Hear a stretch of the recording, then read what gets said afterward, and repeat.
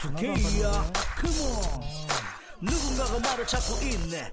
그리 오래 기다리진 않을 거야. Put your hands up, shake your body. Everybody say, everybody say ya. 자 여러분 반갑습니다.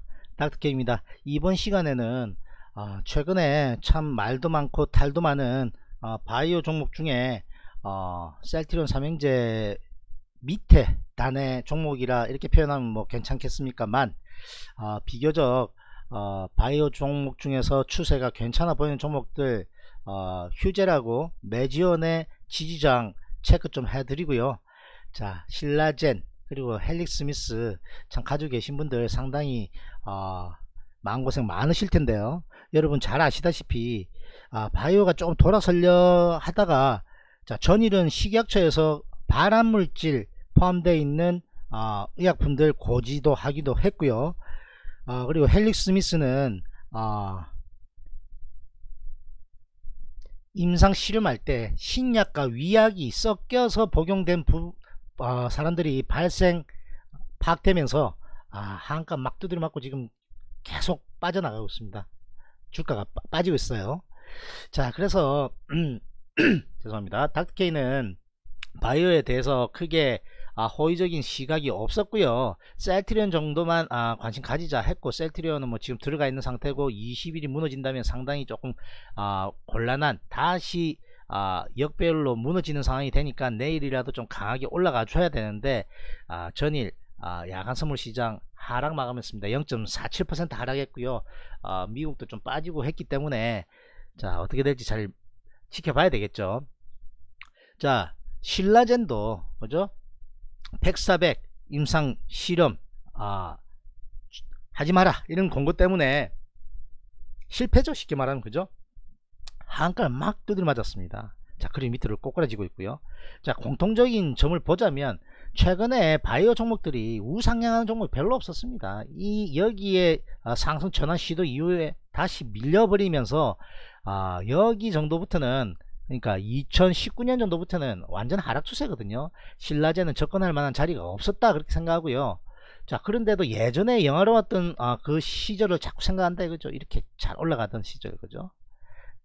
자 아, 그러한 아, 추세가 좋은 우상향일 땐 상관없었으나 이렇게 마지막으로 여기가 무너지면서 우하락으로 완전 전환했을 때 아, 접근하지 말았어야 하는 그런 상황인데 접근을 했다면 지금 상당히 손실폭 있는 걸로 그렇게 파악이 되고요. 헬릭스미스도 마찬가지입니다. 하락 잘 가던 상승 추세 완전 무너뜨리면서 하락 전환했으나 다시 대번 올랐었습니다.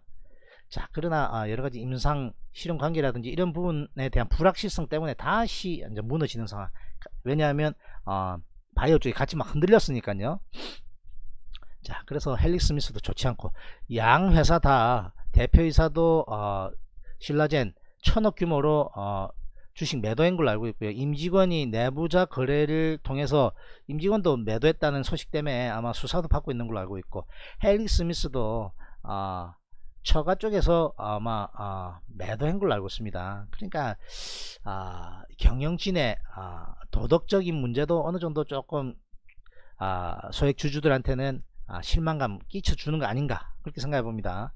자 그렇다면 최근에는 이제 휴젤이 조금 아, 돌아서고 있는 부분입니다. 그죠? 자, 일정해요. 어떻게 일정하다? 하락 추세 이렇게 형성하던 것 아, 돌려냈습니다. 그죠? 그리고 이렇게 상승 전환까지는 좋았어요. 그러면 이런 트렌드로 잘 가야 되는데 또 무너졌거든요. 자, 그러나 아, 다시 상승 전환 시도 나오고 있는 상황. 그렇다면 아, 휴젤은 여러분들 잘 아시다시피 어, cosmetic 쪽으로 어, 강세가 있어요. 여기 보시면 그죠? filler라든지 그죠? 보톡스 이런 쪽으로 어, 화장품 쪽으로도 이제 아, 진출한다 이런 이야기 들은 적 있어요. 자, 그래서 휴젤은 닥터케이 여기 인근에서도 나쁘지 않다고 말씀드렸는데 뭐 시장이 워낙 안 좋으니까 무너졌습니다. 만약에 가지고 계셨던 분이라면 여기는 매도 시그널 맞죠? 자 그리고 이번에 또 돌았습니다. 그래서 하나 말씀드리고 싶은 것은 추세가 돌아서려는 이러한 종목들은 뭔가 좋은 아까 말씀드렸다시피 화장품 쪽으로도 아, 사업 영역 확장 filler라든지 보톡스 이런 부분 쪽에 강점이 있는 회사니까 이렇게 상승 전환 turnaround 시도가 나오던 중, 중에 시장이 워낙 안 좋으니까 무너졌는데 대번 들어올리잖아요. 그죠? 그래서 지금 아, 휴젤은 주가 흐름이 나쁘지 않다. 일단 그렇게 판단하고 있고요. 그렇다면 지지장을 아, 좀 알아봐야 될 텐데 단기적인 지지장만 좀 알려드리도록 하겠습니다. 자 여기 21권역 내지는 여기 60일 권역인 아, 대략 37만 7천원권 정도만 무너뜨리지 않는다면 양호한 아, 상승 전환도 가능해 보이고요. 일단 처음 아, 첫 번째 저항은 여기 직전 고점 부위인 아, 41만 대 정도 생각하시면 되겠죠. 41만 대 여기를 얼마나 강하게 돌파하는지가 중요하겠고 자 여기에서 전일은 어, 바이오 쪽이 좀 흔들렸으니까 같이 낙폭이 좀 있는데요. 2% 정도 밀렸는데 자 밀린다면 37만 7천원권까지도 좀 밀릴 수 있고 아마 여기 좀 박스권 형성은 어느 정도 하지 않을까. 그러다가 시장이 좀 돌아서는 지금 조정권이니까 좀 돌아서는 국면에서 41만원권대를 강하게 돌파한다면 42만 8천원까지 단기적으로 노려볼 수 있겠다. 그렇게 판단합니다. 42만 8천원대를 한 번에 돌파하기에는 조금 에러가 있지 않겠느냐라는 생각을 하는 이유 중에 하나는요. 닥터케이는 근거를 들어드립니다. 여기 상승 추세를 형성하면서 가던 추세의 상단 저항권이다 이거죠. 그럼 여기 가면 좀 밀리는 것이 일반적이거든요 그렇다면 강하게 가고 적당히 밀리고 강하게 가고 적당히 밀리다가 돌파 시도 놓는다면 한 단계 더 레벨업 된 목표치 가져가 볼 수 있겠다. 여기 직전 고점 권역인 47만 6천까지도 한번 노려볼 수 있겠다. 만약에 여기를 무너뜨리면 어, 가지고 계신 분이라면 손절 내지는 차익 실현 아, 해야 된다고 생각하고요. 33만 6천건까지도 밀릴 수 있는 상황이다. 최근에는 어, 기관의 매수세가 좀 들어오고 있는 종목이다 자 그리고 다른 종목은 일단 패스하고요. 매지연. 아, 매지연도 잠깐 기업 어, 내용 잠깐 보자면요.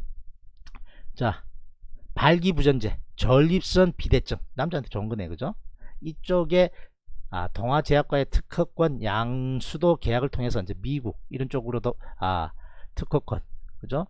아, 가지고 있는 회사다. 아, 여러 가지 조금 논란이 많이 있었습니다. 그래서 아, 적극적으로 하라고 권유는 드리기 쉽지 않습니다만 가지고 계신 분에게 조금 아, 지지 저항을 말씀드리자면 자 여기 권력이 상당히 아, 상승폭 강하게 아, 상승하면서 좋았는데 무너졌죠. 크게 무너졌는데 또 대번 올라타고요.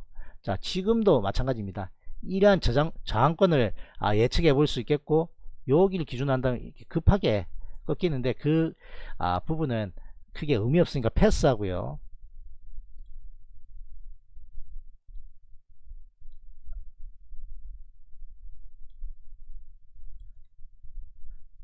자 매지어는 이러한 지지 저항권을 아, 형, 형성하고, 형성하고 있습니다.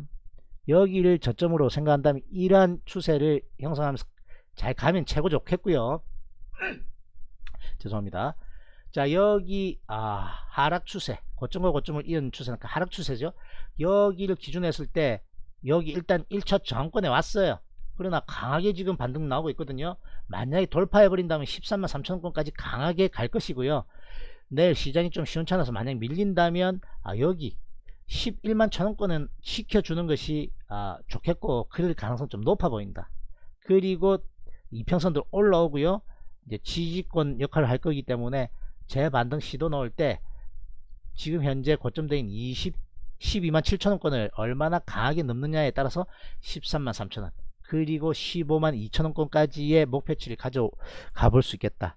자 여기 추세 상단인 15만 2천원과 13만 3천원권을 얼마나 강하게 넘느냐 그리고 여기 11만원권대 얼마나 잘 지지하는지 여부를 체크하시면 되겠다. 자 나머지 삼성 바이오로직스라든지 이런 부분은 아, 지금 아, 압수수색 들어가 있거든요. 자 이렇게 강하게 올라간 데서 하셨던 분들 뭐 얼마나 잘 차익 실현했을지 몰라도 닥터케이는 절대로 하지 마라고 말씀드렸습니다. 그리고 뭐 이러한 부분에 잘 따라간 분이 아, 일부 소수일 테고요. 아, 막 상승한다 해서 꼭대기 따라갔다면 또 손실이 큰 거거든요. 그죠? 그래서 아, 시장의 뉴스라든지 시장의 전반적인 상황 그리고 그 섹터 바이오 섹터의 상황이 어떤지를 잘 참고를 하셔야만 아, 수익률 더 잘 올릴 수 있고 종목 선정을 더 잘할 수 있다. 아, 그렇게 생각합니다. 자 마지막으로 셀트리온 아, 지지장 한만 더 짚어드리고 마무리하죠. 아무래도 여러분들 셀트리온 관심 많으실 테니까요. 자 16만원권을 돌파하면서 그죠? 16만원입니다.